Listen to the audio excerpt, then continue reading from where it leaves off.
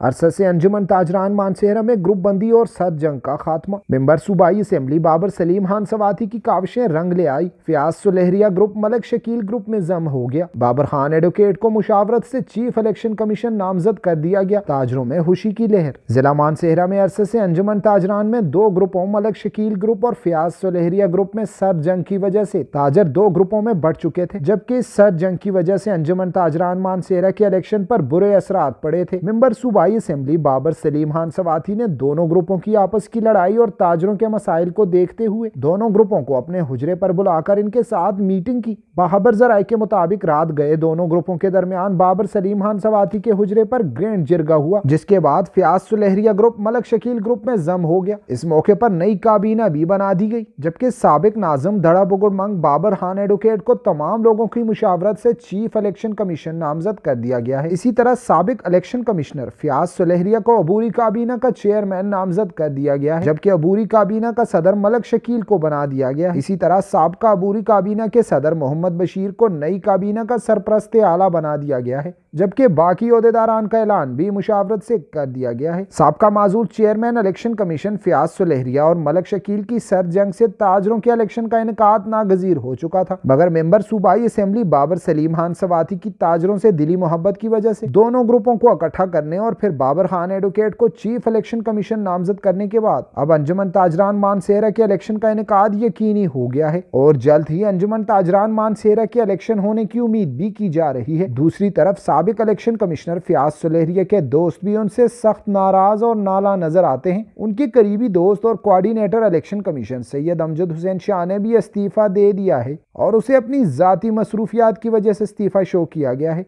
मगर दरपर्दा मामला कुछ और हैं। दोनों ग्रुपों को एक करना, जहाँ एमपीए बाबर सलीम खान सवाती की एक बहुत बड़ी काविश और कामयाबी है। वहीं पर फयाज सुलेहरिया के दोस्त जो उनसे सख्त नाराज़ हैं। उनको मनाना भी अब इनके लिए एक टास्क बन गया है। उम्मीद है कि मानसेरा के दीगर ताजरों के मसाइल हल करने और साफ़ और शफाफ इलेक्शन करवाने के लिए फयाज सुलहरिया के दोस्त भी उनके इस फैसले को खुले दिल से मानेंगे।